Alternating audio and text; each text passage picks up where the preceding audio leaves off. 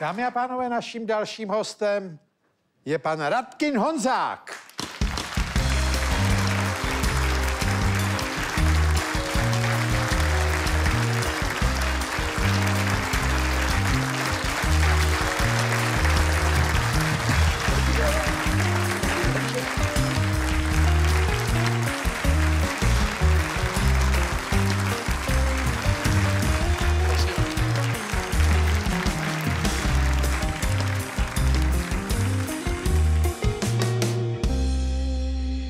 Dobrý večer, pane doktore. Dobrý večer. Do- Já, já jsem si všimnul, že všichni vám nosí nějaký dary. Kromě Bereniky teda. Tak chodí vždycky s prázdnou. moment, já, I já jsem... Já jsem pro vás... Ne, To vám děkuji úctivě, to jste velmi laskav. Posaďte si, já vám za te, Děkuji. zase dám něco k pití. ne, nepotřebuji, děkuji. No, kdyby na vás přišla žízeň. Ale eh, nevím, jestli jste, pane doktore, měl možnost sledovat tady tu diskuzi, kdy jsme se trošku bavili o těch stereotypech, protože Ona, by mě zajímalo, co si o tom myslíte. já jsem... Si- děkuju. To je placebo. Ano, to je ideální. To je lék na každou nemoc. Ano, na každou. Počkejte, a kdyby bylo moc silný, tak se dá půlit. A děkuju moc krát. To zabere určitě. To je tutově. Placebo tutově. A nedávno jsem o tom poslouchal nějaký uh, povídání, to je strašně zajímavá věc, placebo. Je? Protože ono to skutečně funguje, že jo? No, a jak? A jak, že jo? Ano. Prosím vás, ale jinak se to dělá tak, že ty pacienti většinou nevědí, že to je placebo, že? Na tom to stojí. No ne, tak ono tady to máte napsaný, Tady jo. aby to bylo ze zárukou, jo? Jo. Ale jinak, Tady je napsáno určeno pouze k nácviku půlení tablet. ano.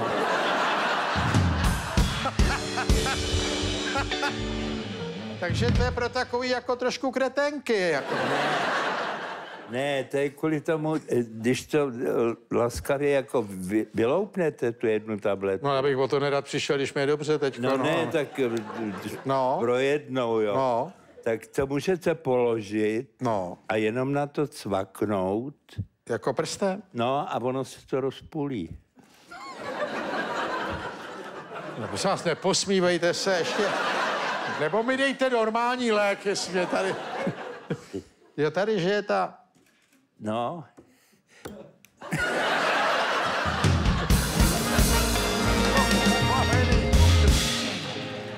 to je to nejlepší léčení. A takhle my to děláme. Tak to vám moc krát děkuju. To je úžasné. Rádo se stalo. A No. máte to rozpůlený? Má? No, Jo, tak já nevěděl, a ten, teď ty další už budou mě dobře. no co to bylo na bolení v krku, jo? No, to je úplně jiný kafe, že jo. Do mě vlítla energie, jako. No ne, ale tak jste slyšel stereotypy. Jak je to se stereotypama, prosím vás, pane doktore? No tak eh, stereotypy, Myslím já, v tom vztahu muž, žena. muž, žena. Muž, žena. No tak eh, co já si myslím, jo? To, No. Ne, co vím. Ano. Já o tom nevím nic, jo? Ale co si myslíte? Takže si můžu myslet. Eh, já si myslím, že muž a žena jsou dvě rozličná zvířata.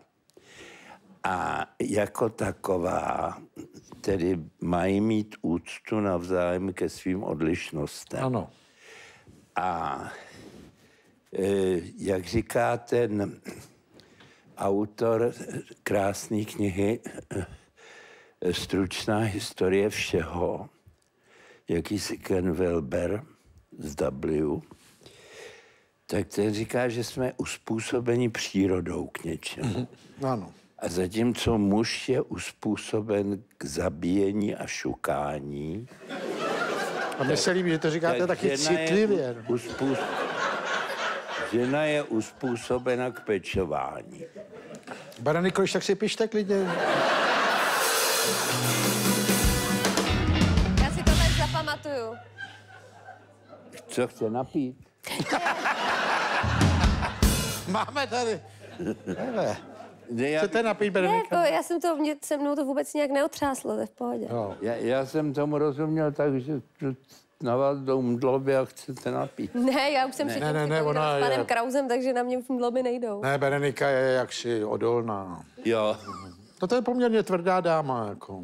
Ona dělá jako to, ale... No tak ono to taky s váma, kdo má být jiný. No, ale mladý, no ale tak oni taky říkají, že ta generace teďko, ty mladí jsou hodně uh, jaksi psychicky takový uh, labilní, nebo no, nebo subtilní. Subtilní. No já nevím. No ne, tak eh, ono je, já vidím Já si dám teda, další placebo.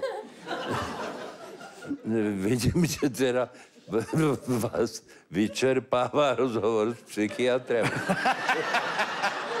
Málo co mě málo kdy tak zvedlo jako tenhle zázrak. No. Promiňte. No ne, tak ta generace už eh, se narodila s tím, že má co si zamane, jo. Vy jste musel šetřit. Ano. No šetřit bylo z čeho? No, bylo z čeho, ano. Šetření jsem nahrazoval doufáním někdy. A, Prosím vás, dost. Ne, jak jste mluvil o prachách, tak... Vy jste, když se vám něco porouchalo, tak jste to opravovali. Ano, ano. My taky. Ano. v oběma rukama levejma. A e, e, jako, když jste na něco ch- chtěl, tak e, jste si na to našetřil. Ano. Jo? A dnes, Bylo-li to možný. dneska oni si vypůjčej, klidně, a mají všechno bez, bez šetření, bez toho, bez toho. Takže potom, když to nedostanou, tak pláčou. Ta generace má od malička sníženou frustrační toleranci, Prosím vás, až takhle. což je tedy vznešený výraz, No, že si nedokáže odepřít to, co po čem touží. touží. No, ale na druhou stranu oni říkají, že oni jsou oprávněně jaksi senzibilní, protože jsou zatížený technologiemi, do kterých se narodili, že vyrůstali Ano. v mobilních telefonech, v tabletech, všude okolo nich jsou monitory, displeje, Ano. všechno to pípá, bude vše No ne, tak eh, helejte, d- začíná to tím, že ta maminka tlačí kočárek a na to dítě nevidí. Kdyby ho ožírali vosy, tak prostě ona neví nic, že jo. Tam má být oční kontakt, jo, no. bez srandy. Ano. Já jezdím, Já teďko jsem slyšel, jako ožírají ty vosy, asi si vezmu další. asi si vezmu další placebíčko. jo, počkejte. Já to potřebuji vy- celý plato placeb. No, no, no, ne. A, aby se s ním moc nemusela bavit, tak mu už ve dvou letech vrazí nějaký tablet. Nějaký strojek. A e, takže to dítě se nenaučí jednat s lidma, to umí dobře s technologiemi. No to je pravda. Jo, přijdou vám, udělají bi, bi, bi, bi, bi, a to, s čím vy se patláte půl hodiny, oni mají za, za dvě vteřiny, ale s lidma je to těžší, no. Ale víte co, promiňte, on je to takový na hranici jaksi uh, taktnosti, bych řekl, ale hrozně mě to jako zajímá, jestli si to můžu dovolit se vás zeptat, pane doktore, kdo byl takový nejhorší, nemyslím jméno, nebo konkrétně, já myslím jenom tak obecně, kdo byl nejhorší váš životní pacient? Nejhorší. No, že na něj vzpomínáte s tím, že to byla hrozná robota.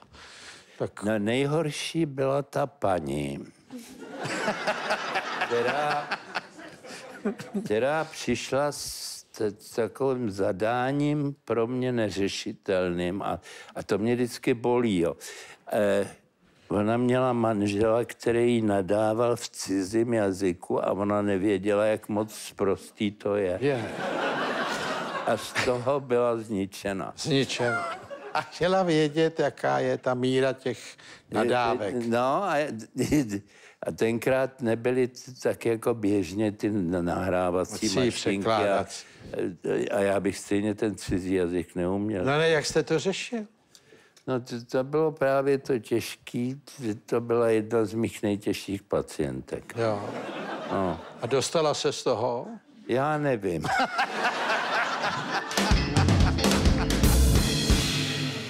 Ale to je, to je zajímavý případ. No tak eh, v tom množství případů, který vy jste dělal. No měl jsem, měl jsem taky pacientku, která byla sedm let těhotná se Stalinem, ale to, to, Ono se to někdy vleče. No. to, to jako tady s tím nechci strašit. To teď není to pravý. No jo, tak to je... To. Ale myslím si, z hlediska vývoje toho vašeho oboru zas tak moc převratných novinek asi není, ne? Vemte si, že já jsem v oboru 62 let. Mm. A za těch 62 let se přihodilo opravdu mnoho. Ano. Nicméně zůstalo jedno, že nejlepší a nejbezpečnější metodou léčby rezistentní deprese je elektrošok a my nevíme proč. My nevíme, proč. No, Ono s mozkem je to tak vůbec, že jo? no to bylo On je nevyzkoumatelný. On je ne, on, a, a některý lidi ho nemají.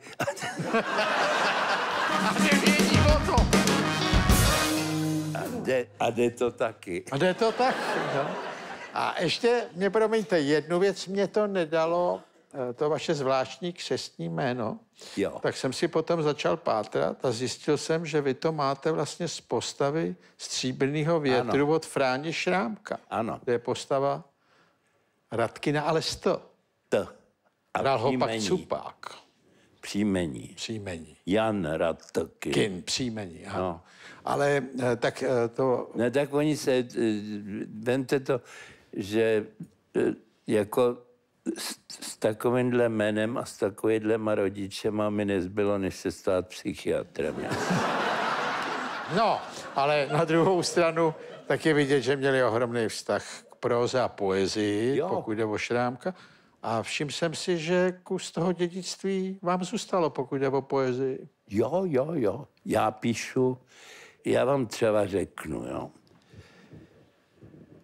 Olomoucký syreček depresi dá ránu, vzkazuje si ti dědeček, je pln tryptofánu.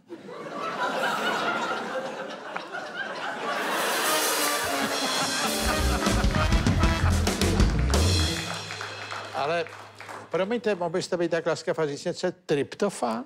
Tryptofán, eh, to, to je taková aminokyselina, kterou organismus potřebuje, aby udělal tu slavnou molekulu serotoninu, před kterou se modlí celý farmaceutický průmysl. Radostný, že jo? Ne, no tak eh, hlavně dobrý kšeft.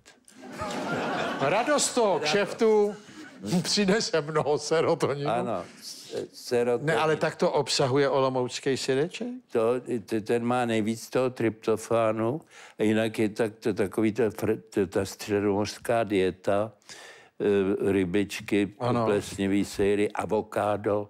Aha, Avoka... No, ale to, to, jsme utekli od té poezie. Já jsem začal... No dostali jsme se jako k tomu sejru, no, tak No, dobře, já jsem začal výpočtem komolého kužele s, Jo. ba- s básněným, jo. Aha. A e, končím teda už v takových, e, řekl bych, symboli, symbolismus a dekadence a Jo. když jsem četl, e, já jsem 400, 480 korun jsem vrazil, abych si koupil Tristana Caru. no to je. Ne, no. Hele, a teď tam čtu Alie, Alie, Alie, Alie. Pršelo celý den. Alie, Alie, Alie. Ale Za 470. To, tohle, to, tak to, to jsem si řekl, že to musím, musím ho trumfnout, jo. a trumfnu. Trumfnout. Prosím vás, a teď mám ještě takovou jednu věc delikátní, jestli dovolíte. Jo, Já jsem viděl takový s váma rozhovor, kde vy jste mluvil, co je dobrý udělat proti stresu a tak, že tohle třeba takhle plnou silu. No, ne, takhle. Jak? Hele, co nejdál od sebe Co? a co nejdál ty lokty. Jo, a takhle, aha. ono vám to vypne ten hrudník na druhou stranu, než je stažený tou úzkostí. Vidíte, Berenika, jak to hned dělá? na druhou stranu. A chtěl jsem vás právě poprosit, tam jste dělal i tu druhou vaší metodu a jestli byste byl tak strašně hodný, Myslíte, Kardašovou řečici, jestli byste to mohl ukázat Berenice. Já myslela na mě, jsem se lekla trošku. no ne, To je druhá metoda. my si musíte jazyk. Musíte si chytit Bereniko jazyk. A teď řekněte, jedete do Kardašovy No tak to... No, be, to opravdu, Cože mám říct? jedete do Kardašovy řečice. Jedete do Kaldašovy řečice. Jedeme, ale takovýhle blbečky nebereme.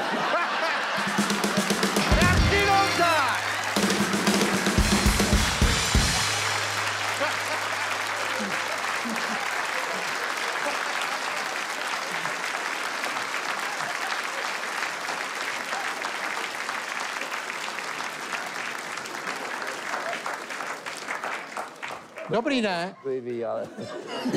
Báječný. A jste ze stresu venku. No úplně.